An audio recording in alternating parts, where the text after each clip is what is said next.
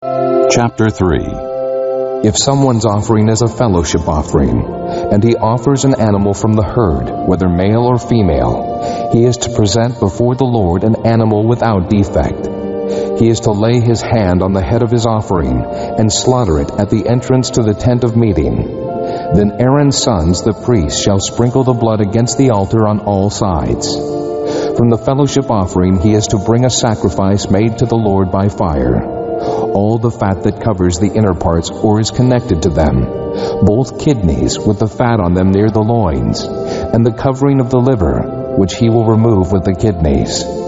Then Aaron's sons are to burn it on the altar, on top of the burnt offering that is on the burning wood, as an offering made by fire, an aroma pleasing to the Lord. If he offers an animal from the flock as a fellowship offering to the Lord, he is to offer a male or female without defect. If he offers a lamb, he is to present it before the Lord. He is to lay his hand on the head of his offering and slaughter it in front of the tent of meeting. Then Aaron's son shall sprinkle its blood against the altar on all sides. From the fellowship offering he is to bring a sacrifice made to the Lord by fire. Its fat, the entire fat tail cut off close to the backbone, all the fat that covers the inner parts or is connected to them, both kidneys with the fat on them near the loins, and the covering of the liver, which he will remove with the kidneys. The priest shall burn them on the altar as food, an offering made to the Lord by fire. If his offering is a goat, he is to present it before the Lord.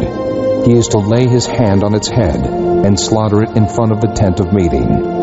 Then Aaron's son shall sprinkle its blood against the altar on all sides.